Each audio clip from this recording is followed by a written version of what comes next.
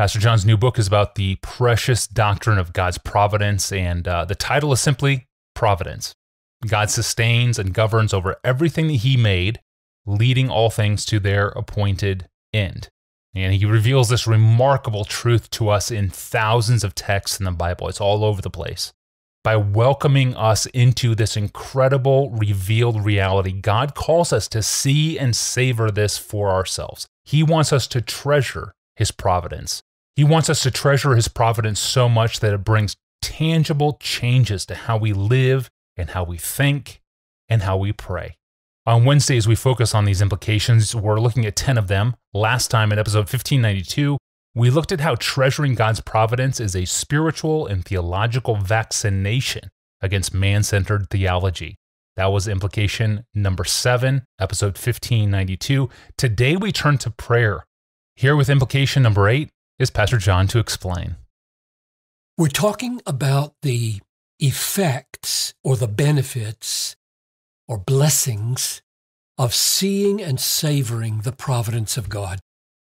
Even though, in my experience, they are all wonderful, nevertheless, it feels to me that this one that I'm going to talk about right now is one of the most amazing and precious and wonderful effects of knowing and loving the all pervading providence of God.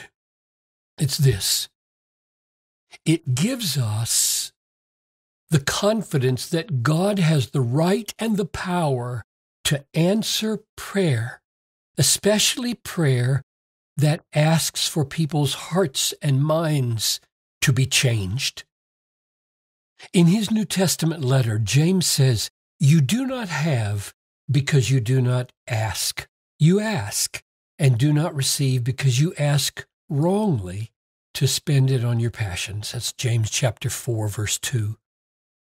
That means that things really do not happen that would have happened if we had prayed.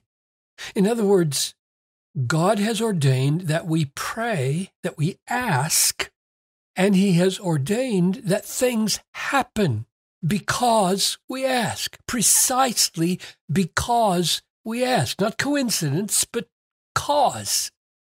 You don't have because you don't ask. Prayer is one of the great wonders of the world. That God would plan for his own sovereign hand to be moved by the prayers of his creatures is amazing. There are mysteries in it, but these mysteries have never stopped the simplest saint or the most highly educated Christian scholar from weaving the thread of prayer into the whole fabric of their lives. As Paul said, pray without ceasing. There have always been simple folk and highly educated folk who have done this without ceasing kind of weaving and praying in their lives.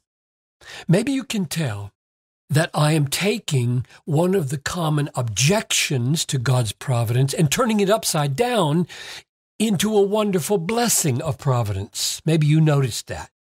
The objection says, well, there's no point in praying since, according to the doctrine of providence, God has all things planned anyway.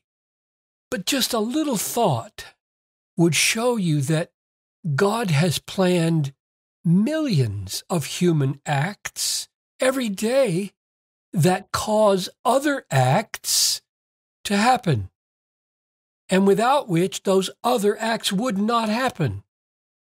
A carpenter's nail sinks into the board flush because God planned for a hammer to hit it soundly. A student makes an A on a test because God planned for the student to study. A jet flies from New York to Los Angeles because God planned for fuel to be available and wings to stay put and engines to thrust and a pilot to know what he's doing. In none of these cases do we say that the cause was pointless. The hammer, the studying, the fuel, the wing, the engine, the pilot, neither is prayer pointless. It's one of the God ordained causes of things that God plans to do. Prayer is part of the plan for how God accomplishes his purposes in the world. In fact, the all embracing, all pervasive, unstoppable providence of God is the only hope for making our most heartfelt prayers effective. Let me say that again. It's our only hope. The providence of God is our only hope for making our most heartfelt prayers effective. If God doesn't have the power and the right and the authority to change things like people's hearts, what's the point in praying about the things that matter most to us? It's precisely His providence that gives us hope that He has the right to do this. What's your greatest longing? What's your most heartfelt desire or prayer? My guess is that for almost all of us, it involves somebody's change. Probably it is the salvation of someone you love, at least that's the case for many of us, or it may be the liberation of your own soul from some sinful bondage. When you pray that God would save your loved one or liberate you from bondage to sin, what are you asking God to do? You are asking Him to do what He promised to do in the new covenant, which Jesus, according to Luke 22 20, bought, secured, guaranteed with his own blood, which is, by the way, why we pray all of our prayers in Jesus' name. We pray, God, take out of their flesh the heart of stone and give them a heart of flesh. Ezekiel 11 19. We pray Deuteronomy 30, verse 6. Lord, circumcise their hearts, circumcise my heart, so that they will love you, so that I will love you. We pray Ezekiel 36, 27, Father, put your spirit within them and cause them to walk in your statutes. We pray 2 Timothy 2:25, Lord, grant them repentance and the knowledge of the truth so that they may escape from the snare of the devil. We pray Acts 16:14, Father, open their hearts so that they may believe the gospel.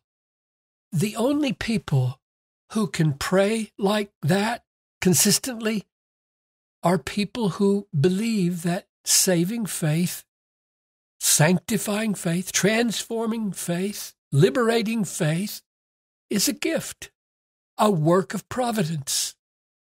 Many people do not believe this. Millions of Americans have been taught not to believe this because they believe that human beings have the power of ultimate self determination at the point of conversion. God doesn't have it, they have it. In other words, God can woo sinners like a man woos a fiance. God can woo sinners, but he cannot create their faith, they say. Man must have the final, decisive say.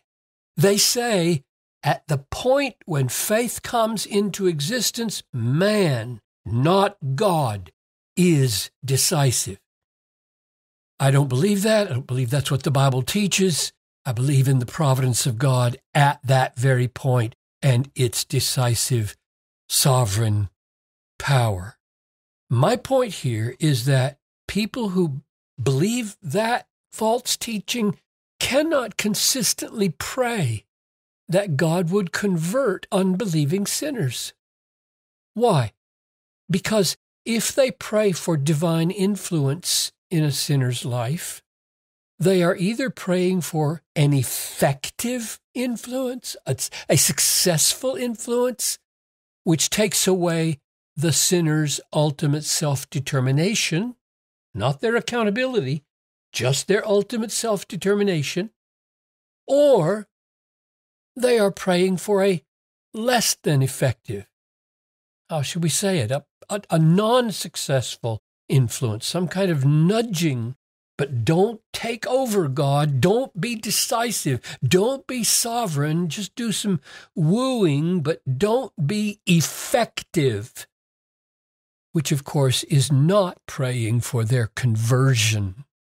So they must either give up these prayers, these people who pray that way, they must give up praying that God would convert people or give up ultimate human self determination or go on acting inconsistently, which millions do, praise God. Many people pray way better than they believe. Prayer is a spectacular gift. No one believed more firmly than Paul that humans do not have the final say in their conversion. We don't. God does. It is all of grace, sovereign grace. He said in Romans 9:16, it depends not on human will or exertion, but on God who has mercy. Nevertheless, probably no one prayed with more tears and more urgency than Paul for the conversion of sinners. I have great sorrow and unceasing anguish in my heart, he said, for the sake of my brothers, my kinsmen, according to the flesh. My heart's desire and prayer to God for them is that they may be saved. That was Romans 9 2 and 10 1. He prayed this way because he knew that the new birth is not a mere decision of humans, but a miracle from God. With man, this is impossible, Jesus said. But with God, all things are possible. Matthew 19 26. So my conclusion is the all embracing providence of God does not make prayer a problem, it makes prayer powerful. It makes prayer the wonderful gift that it is. Oh, let us be a praying people. Amen. What a great call. God's providence gives us the confidence that God has the right and the power to answer prayer. That is so, so relevant and so important. Thank you for listening to the podcast. On this podcast, we normally answer questions, and you can send us your own question, or you can search and browse all of our 1600 past episodes, or you can subscribe to the podcast. You can do all that at desiringgod.org forward slash ask Pastor John. We are going to end the week with one of the most perplexing questions in all of the Bible. If he knew, if he knew that he would betray him in the end, why did Jesus choose Judas as a disciple to begin with? It's a great question. We get it all the time. We're finally going to address it. I'm your host, Tony Reinke, and we'll see you back here on Friday for that.